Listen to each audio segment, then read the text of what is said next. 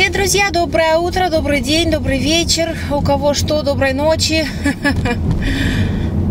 У нас сегодня среда. Э, какое же сегодня число? Э, вчера был экзамен, 18 число сегодня. 18 число на дворе, октября. А, время 7 часов 20 минут. Вот такие прекрасные виды на камере. А, потому что уже достаточно темно утром, скоро, да, вообще будет ночь еще в это время. Вот, и очень красиво, вижу, камера снимает, э, вот все оттенки неба, все вот цвета, оттенки красивые, розово-желто-оранжевые. А, какие-то вот люди утречком делают спорт, это хорошо. Ой, я вчера так ударилась ногой, пальцами, и, в общем, болит нога. Вообще вступить тяжело, поэтому я очень рада, что сегодня один из тех дней, когда я еду на машине. Сегодня короткое введение а, про... А, не то, чтобы как продвигается учеба, а просто вообще рассказать, потому что, как оказалось, многие из вас, то есть я знала, что у меня есть как минимум два парикмахера среди моих зрителей, но оказалось, что есть намного больше людей. Э, вы спрашиваете вопросы такие, видно, ну, как сказать, не то что профессиональные, а как бы да, с делом вопросы по делу. То есть видно, что люди знающие или интересовались, или работали, пытались. Некоторые из вас написали мне свои истории. Некоторые написали истории там своих знакомых, как они стали парикмахерами. И я немножечко на эту тему хотела поговорить, а также вам рассказать, что мы до сегодняшнего дня выучили. И э, что я вожу в своем волшебном чемоданчике. Так что, если вам интересно, оставайтесь и послушайте.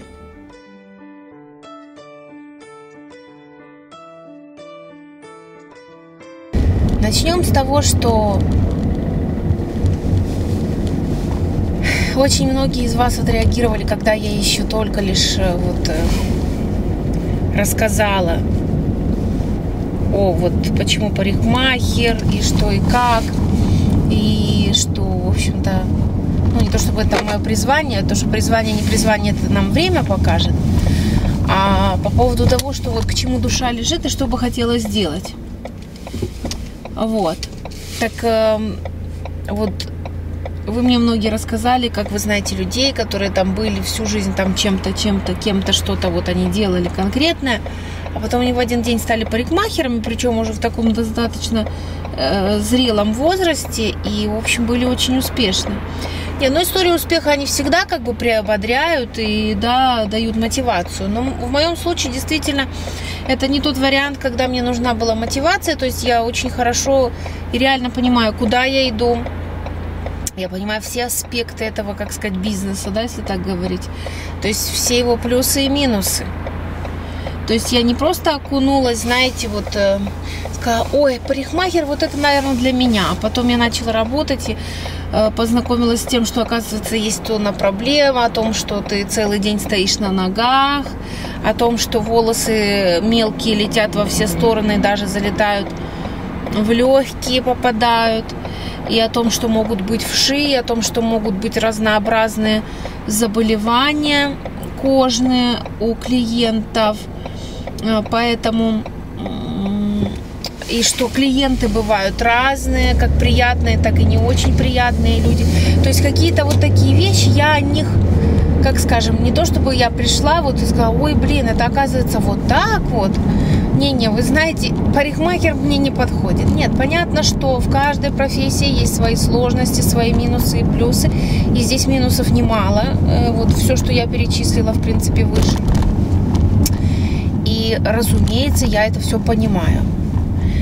И я вообще сама по себе человек достаточно брезгливый. Достаточно брезгливый.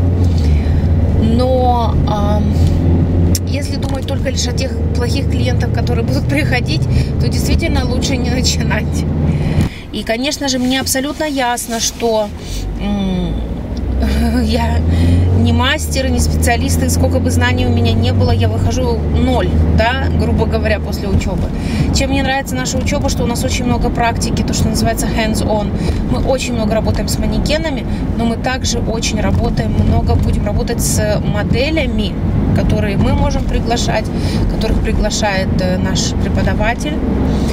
А, уже через, э, короче, в ноябре, после того, как я вернусь из Израиля, я начинаю практику. Я уже устроилась на практику в очень хороший салон. А, я с ним переговорила, он, он увидел всю мою мотивацию, он сказал, что с удовольствием научит меня всему, что он знает. Вот. И принципе, я очень этому довольна. Естественно, я буду видеть, как работают настоящие мастера. А, салон достаточно большой, там 10 э, кресел, если я правильно выражаюсь, да, там 10 кресел. И люди приходят по записи, то есть это хороший очень салон. Но уверенность можно получить только благодаря опыту. Конечно же, я понимаю в то же время, что мне придется стричь на дому. То есть, во-первых, моя как бы цель такая, что да, хотелось бы работать на дому, потому что я изначально, да, если мы будем вспоминать исток, как бы изначально цель была такая, все-таки идти и работать э, на дому для того, чтобы быть с детьми, или, по крайней мере, иметь такой плавный график, который позволит мне отводить детей в школу, или, по крайней мере, забирать их со школы, быть с ними, делать уроки, и при этом, чтобы в доме была ну, горячая еда, да, то есть, то есть для меня важен аспект семьи и дома, чтобы он был не запущенным, чтобы у меня оставалось на это силы. В то же время мне хочется зарабатывать деньги. Я понимаю, что если пойду работать, ну, как говорится, ну, не то чтобы на себя, потому что по-любому ты работаешь на себя, даже когда ты работаешь э, в салоне. Потому что есть абсолютно разные условия, на которых можно работать э, в салоне. Но э, смысл в том, что, понимаете, я не могу без наработки салона работать дома. Почему?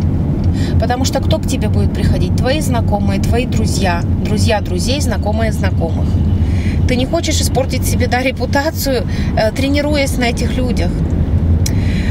А, поэтому это те люди, которым ты, да, будешь давать обслуживание на дому. Они не будут ходить к тебе в салон, даже если ты будет, начнешь работать в салоне.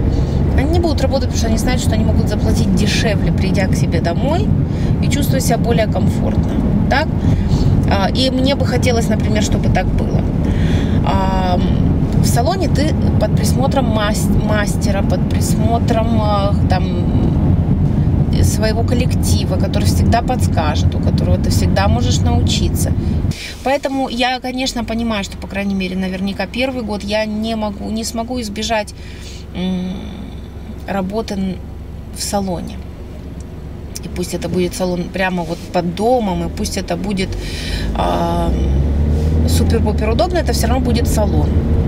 И мне нужно будет совмещать это с домом, потому что мои уже все знакомые, друзья ждут, когда я начну встречу, уже все хотят идти.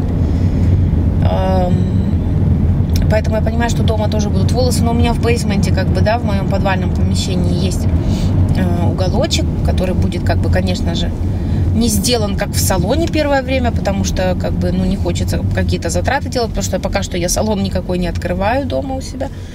Вот. Но, конечно, будет зеркало и кресло, и э, у меня умывальник, в принципе, есть. Там же все у меня проведено, все сделано, поэтому пока что в уголочке просто будет кресло, зеркало, там и тумба. А уже дальше там время покажет. Но моя преподавательница вообще сказала, да, я вам уже говорила, она видит меня парикмахером, э, не, парикма, не парикмахером, а эм, владельцем. Она говорит, Инна, тебе нужно открывать свой салон. Тебе не нужно стричь, тебе нужно руководить, открывать свой салон, брать людей. Но говорит, конечно же, э, только тот салон будет успешен, э, руководитель, владелец которого понимает тенденции, знает, как, что, как и что делать. Только этот салон будет всегда в топе, который развивается и Э, владелец салона, когда э, является сам по себе хорошим мастером. Поэтому как бы вот так она сказала. Я, конечно, себя абсолютно не вижу, я просто понимаю, вот как бы, да, вот как раз вот, вот, вот это, вот, э, у меня абсолютно нету никаких амбиций на эту тему. Абсолютно. Амбиции по поводу там открыть свой салон, набрать людей, это классно. Это классно. А, и тут нету даже вопроса страха а, ответственности, да, там то, что ты берешь за, за съем помещения, зарплаты работников и так дальше. У меня нету такого страха. Как бы, потому что я понимаю, что это само собой прилагающиеся риски, которые ты берешь на себя, э, вступая в свое дело. Потому что я человек, как сказать, недалекий э, от этого. Я я прекрасно понимаю, что это, с чем это связано. Немножко занималась своим бизнесом, очень немножко изучала этого всего. Нас, в принципе, обучали, как делать бизнес свой и что нужно для этого, и какие этапы, и все такое. На моей друго... в моем другом образовании. Поэтому меня это, кстати, не страшит. Но то, что меня отталкивает в этом деле, то, что я понимаю, что свой салон, ты в нем живешь. Поэтому я понимаю, что это для людей, э, не имеющих семьи или отдаленных от семьи, или у которых уже э, нет потребности такой, как вот э, у меня сейчас в семье. То есть, что я имею в виду? Нету маленьких детей, то есть дети выросли, и вы с мужем вдвоем, и вы полностью погружаетесь в работу, да, в какой-то... Наступает второй этап развития. Я говорю, вот есть в молодости всегда такой этап развития, да, когда ты строишь себя, ставишься на ноги, там, учишься, заканчиваешь учебу, пытаешься делать карьеру. То есть вот, вот такой вот всплеск. Э, там, а потом, мне кажется, идет затишье, потому что потом идет развитие семьи, семья, дом, вот эти заботы все. Потом это опять сходит на нет, и приходит второй этап, как бы, вот такой вот в жизни. Но мне так кажется, я не знаю, я вижу мног, среди многих своих знакомых, и это то, как я для себя понимаю жизнь. Возможно, через там 5 лет, 10 я не буду так рассуждать. Но мне кажется, что когда дети подрастают, и уже, конечно же, не нуждаются в маме и в папе так, как они нуждались, когда им было 5 и 10 лет, то для мамы с папой наступает как бы вторая такая, ну не то чтобы молодость, а второй этап развития, я это называю. То есть человек начинает развиваться дальше. Очень многие люди в этом возрасте идут учиться заново, меняют карьеру, профессию, а, открывают свое дело, потому что, например, всю жизнь что-то делали, поняли, что у них есть достаточно для этого сил, знаний, уверенности, связей, и они идут, вступают в какое-то свое дело. То есть я не знаю, мне кажется, что это вполне естественно. Поэтому я для себя, конечно же, однозначно решаю, что я понимаю, что мне нужно будет работать в салоне как минимум первый год. Вот. А потом, э, дай бог, э, перейду на дом то есть буду брать клиентов. Причем, знаете, я, я вот как я себя сейчас вижу, я не вижу, что я такой хапыга, который будет, знаете, ой, давайте ко мне все всех встреч, там день переполненный, даже в туалет некогда сходить. Нет, нет, мне достаточно там, допустим, два-три клиента в день ну, кто-то сейчас меня может послушать, кто работает на дому, скажет, ну, чувиха, ну, нормально ты себе задумочки, 2-3 клиента, ни хрена себе это, сколько у тебя должна быть база э, клиентов, клиентская, чтобы по 2-3 клиентика в день регулярно приходили, да, то есть понятно, что эту базу нужно наработать, понятно, что 2-3 клиента в день, я говорю, это идеальный вариант для меня, это не то, чтобы, знаете, там, начать с двух-трех клиентов, то есть если я дойду в день 2-3 клиента, ну, мне кажется, ну, что еще можно желать в жизни, ну, прекрасно, прекрасно все. Два-три клиента в день. И если я еще в начале курса, смотрите, как все меняется. В начале курса я говорила, что э, красить я не очень люблю, там это я не очень люблю, но просто я не была в этом, я сейчас погружена. То есть учеба, я сейчас в этой учебе 24 часа в сутки нахожусь, вот целый год буду находиться, учебный год вот в этом состоянии, я в нем, понимаете, я вот на учебе 6 часов, мы полностью погружены в этом, мы стрижем, там мы делаем э, работу с феном, мы там крутим, э, там та-та-та-та-та обучаемся, смотрим видео, к нам приходят э, разные спикеры из разных салонов, владельцы, эм, мастера. Как вам сказать, это ты находишься в состоянии какого-то праздника. Но для меня это состояние праздника, потому что это то, что, чем я хотела заниматься. Я невероятно счастлива. Вот я сейчас еду на учебу, я просто счастлива. Я счастлива вставать в 5 утра каждый день, потому что мне это нравится. И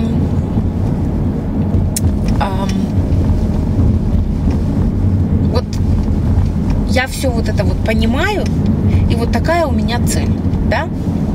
Я понимаю, что придет клиент, кому-то нужно покрасить будет, это дольше, конечно же, да, кому-то там нужно, я не знаю, может быть, какой-то химический сервис делать, там завивку или там выравнивание волос, ну, неважно что. Вот э, это все время, да. Ну вот я говорю, в среднем 2-3 клиента в день, это вообще просто супер, это идеальный вариант. Если, конечно, дойду там до большего количества, наверное, это будет тот момент, когда я решу, что пора что-то открывать. Но смысл такой, что я для себя не исключаю возможность открытия своего салона. На самом деле не такое большое дело, знаете ли, я имею в виду не там супермаркет открыть, понимаете, это, это, это намного проще все. Но, конечно, есть определенные риски, которые ты на себя берешь. И скажу вам честно, э, не имея копейки за душой, туда лучше не лезть. То есть все равно какие-то лучшие как сказать, эм, какой-то маленький капитальчик, так сказать, на черный день у тебя должен быть на случай плохого развития плана, да? То есть на плохой случай должен быть обязательно загашничек. Вот. У меня, к сожалению, в ближайшее время такое не предвидится, поэтому об этом и не стоит говорить и рассуждать. Но я для себя не исключаю момента в один прекрасный день, когда я уже буду работать, скажем, может быть, лет 10, да, то есть где-то в 45 лет, открыть свой салон. Очень даже, почему? Очень даже реально. Очень даже реально. Ничего страшного в этом абсолютно не вижу. Вот, поэтому все возможно в этой жизни. Понимаете, я уже салон собралась открывать через 10 лет, я еще даже не закончила курс, но не важно. Вот, поэтому это хотела порассуждать вот на тему э, того, понимание, куда я иду, зачем я иду и как это все я вижу для себя. И хотела в двух словах вам сказать, что у меня, э, что мы успели изучить. Смотрите, мы изучаем очень много теорий, естественно. У нас очень много практических занятий, но и теории немало, я вам должна сказать. Теории абсолютно немало. Мы изучали? Ну, теория, теоретически, э, так как в ноябре у нас сейчас каникулы будут э, с эм, где-то с 7 ноября по 17-18. Как раз то время, что я лечу в Израиль. Кстати, когда я покупала билет, я не знала о том, что будут каникулы, и слава богу, все совпало. Ой, здесь такой бамп. Вот, и...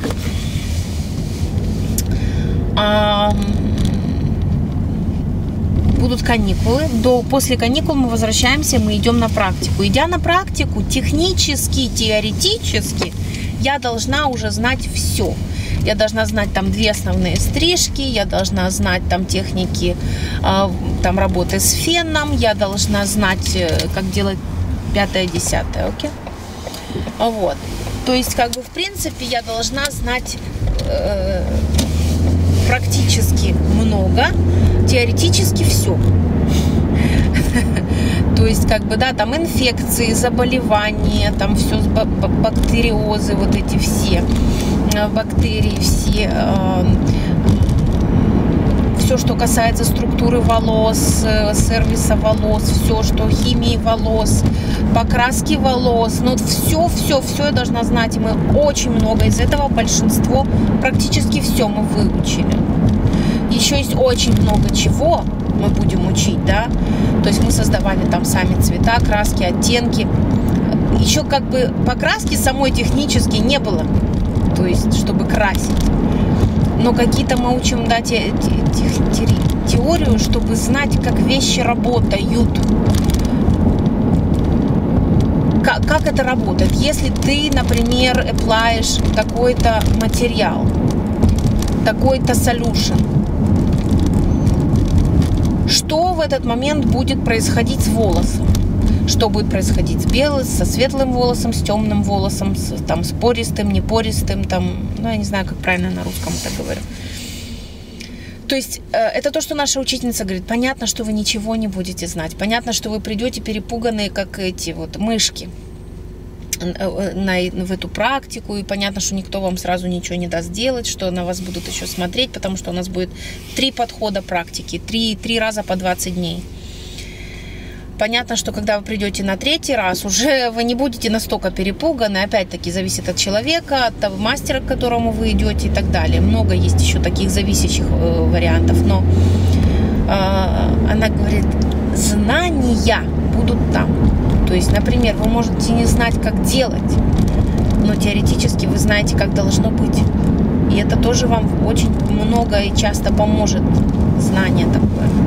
Вот, поэтому я очень, конечно, рассчитываю на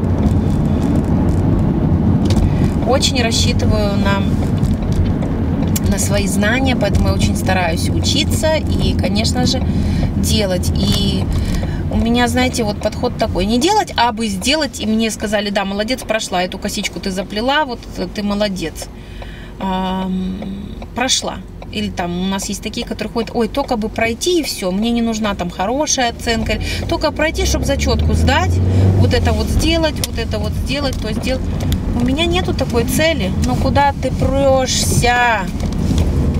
Нету такой цели. Мне моя училка сказала, она говорит, это же, это же мы не делаем не для меня, правильно вы эти проходите это все. Это же для вас, чтобы иметь уверенность в себе, а, в своем то, что ты делаешь. Вот. Что мы сделали из того, что мы сделали?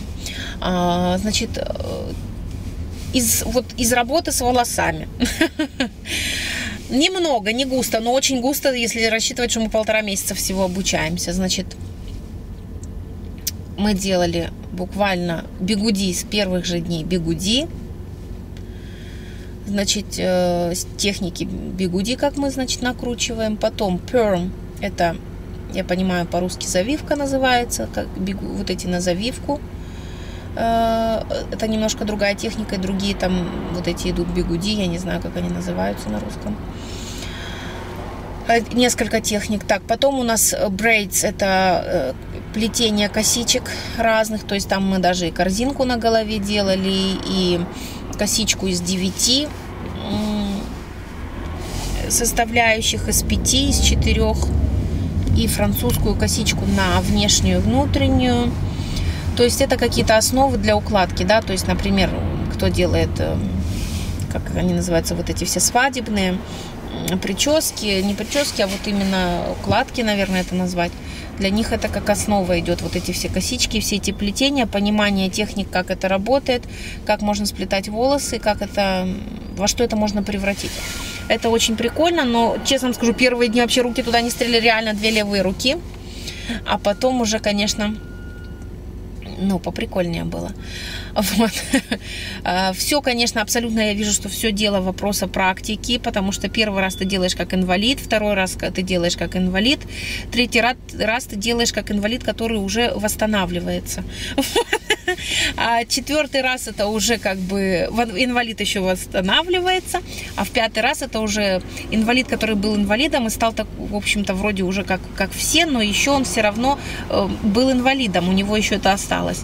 И вот ему еще берет время расходиться, расходиться, чтобы уже чувствовать себя абсолютно обычно, да, обычным человеком. То же самое происходит здесь. Чем чаще я делаю, то есть там для того, чтобы сдать каждую косичку, мне нужно было в среднем заплести ее 15-16 раз, чтобы хотя бы сделать что-то похожее на то, что ожидает от меня учитель.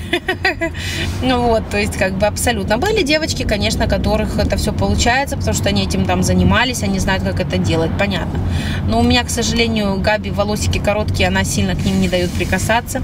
Я сама себе никогда ничего не заплетала, потому что э, с тех пор, как я живу одна, у меня всегда была короткая стрижка или корей максимум, если я собирала все хвостик сверху. Вот. А в моем, в моем детстве меня шикарные косички разные плела моя мама.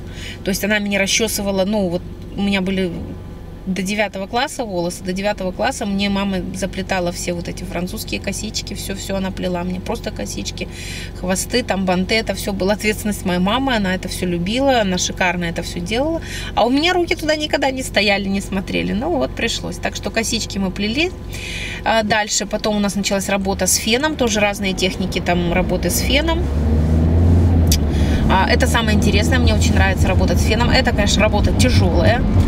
Вот, абсолютно тяжелющая работа. Э, нужно что называется create muscles. Нужно, э, как бы, мы сейчас работаем над созданием новых мышц, которые специально нужно наработать для того, чтобы, ну, работать там одновременно с расческой, волосами и феном. То есть это немножко непривычно для твоего тела такое держание. Но я как-то сразу, вот, кстати, с феном я очень быстро разобралась, как-то быстро включилась в эту работу как-то все я держу, и все это мне нравится. Единственное, что у меня болит голова. Вот мы неделю работаем с феном. Понимаете, у нас класс небольшой, 40 человек. Когда включается 40 фенов, мало того, что это шум невероятный, это еще и жара, и просто я два, вот последние два дня с такой головной болью ухожу, невероятной, очень неприятной. Вот. Но, в общем, мне нравится. Нравится смотреть на результат, который появляется. Сразу сказала наша преподавательница, что преподаватель, что а, вот новенькие, кто приходит и показывает, что они понимают, как, как работать с феном, им обычно всех клиентов скидывают, потому что они не любят, никто в салоне не любит делать фен. Это забирает время, это тяжелый труд. Вот. И, в общем, короче, они за это время предпочитают лучше кого-то еще подстричь там, да, несколько человек, чем делать один фен. Вот, поэтому в этом плане, конечно же, Это прикольно. Мне понравилось больше работать с феном, чем плести косички, я вам так скажу. Потому что для меня это было сложнее. Но фен тоже сложная вещь, потому что не всегда он... Не всегда ты можешь сделать то, что нужно, и иногда нужно переделывать, и, в общем, это сложно. Но мне нравится. И с сегодняшнего дня к нам приходит первая модель мужчина. И мы также на барберов будем обязательно учить. Мы учим и женские, и мужские, и детские, все стрижки, мы все учим. Вот. Но сегодня у нас есть два барбера мальчика, кто уже учится, они уже работают, они работают, пришли только за сертификатом. И вот один из мальчиков э, пригласили модель, он будет сегодня нам а, преподавать лекцию э, основной там базовой стрижки или базового чего-то там. То есть сегодня впервые мы за полтора месяца вообще увидим стрижку. До этого момента мы даже со стрижками не имели никакого дела. То есть мне друзья спрашивают, Инна, уже можно идти стричься? Я говорю, ребята, мы еще вообще стрижку не начинали даже изучать. Они говорят, как так? Я говорю, потому что есть куча всего другого, что тебе нужно знать, кроме того, что стричь волосы. Вот. Только лишь сейчас мы увидим, и, конечно, все с нетерпением ждут, потому что в основном ребята, которые пришли, кто не умеет стричь, потому что у нас есть такие, кто уже с опытом и занимался этим раньше, а вот, они менее э, как сказать, э, curious, э, то есть э, любопытны в этом направлении. А вот такие, как я, очень любопытно. Хочется уже начать что-то стричь, как и увидеть какие-то техники. Понятно, что я стригу своего мужа, своего сына и свою дочку немножко там, из себя саму. Но это все равно не так, когда ты стрижешь кого-то, и у тебя есть профессиональные инструменты, о которых я вот все как никак не могу сказать. То есть, что у меня есть? У меня есть триммер, это для маленьких участков волос э, машинка. У меня есть машинка с кучей насадок и переходов. Это вообще-то, конечно, профессиональные инструменты отличаются очень сильно от э, того, что у меня было до этого. Вот, э, есть там все виды расчесок, фен, а, там заколочки, приколочки, а, ну, в общем, всякое такое. То есть э, набор, который я покупала за 600 долларов, он на самом деле, он еще содержит в себе книги, э, ну, естественно, там и мой профессиональный халат, и накидку там для клиента, Ой, и, в общем, ну, накидки у меня еще и дома были, но неважно, это уже просто все входило вместе, так оно входило. Вот, ну, в общем, короче, очень все мне это нравится, очень все это интересно. Эм, вот. Эм, а, расчески для фена я сказала. Ну, в общем, все виды расчесок, то есть все, что необходимо для вот, если сегодня мне уже маленькую такую парикмахерскую дома пригласить каких-то людей на какие-то базовые сервисы, у меня уже, в принципе, все есть для этого. То есть, чтобы начать, у меня уже этот набор есть. Конечно же, я сейчас понимаю, что нужны еще дополнительные обязательно расчески Потому что, во-первых, они падают, а когда у тебя, ты работаешь с клиентом, и у тебя упал ком, вот этот расчесочка, или разделительная, или та, которую ты стрижешь, ты не можешь ее поднять с пола и продолжить стричь клиента. Тебе нужно иметь прилично таких, я теперь понимаю, почему они продаются в наборе там по 5-10 штук. Теперь мне это ясно. Думаю, зачем одинаковые 10 штук расчесочек? Но есть у тебя одна-две и хватит. Сейчас я понимаю, что не хватит. Вот, что обязательно нужно иметь их приличное количество. То есть мне нужно подкупить, потому что, во-первых, у меня украли э, в первый же, во второй день, во второй день у меня украли набор ком комбов вот эти вот с хвостиками и просто расчески. Украли 4 расчески, самые основные, с которыми нужно работать. Они, конечно, не самые дешевые. В среднем 10 долларов одна такая штучка стоит. И у нас сейчас есть кое-какой поставщик, с которым мы начали сотрудничать как студенты. И я хочу к нему сегодня зайти, потому что мы начинаем стрижки делать. Мне не будет достаточно этих расчесок. А мне нужно зайти купить эти расчесочки подкупить себе, поэтому Ребята, ну это приятные заботы, понимаете, это приятно, когда ты делаешь то, что тебе нравится. Я, конечно, надеюсь, что у меня не перегорит ничего, потому что такое бывает, что загораешься и перегораешь. Но я говорю этим уже очень много лет, очень много, много, много лет. Больше десяти лет, больше десяти лет, больше десяти лет. Это, знаете, не что-то, что созрело в один день. Это зрело очень долго. И вызрело вот только сейчас. Поэтому я очень рада. Женщине важно заниматься тем, что ей нравится, приносит удовольствие. А если это еще и приносит какие-то денежки, ну, в будущем, в перспективе, будем говорить, да, я не ожидаю, что я буду сразу зарабатывать деньги, тем более первые модели, как правило, все это бесплатно. Но я верю в то, э, с, с желанием будет все.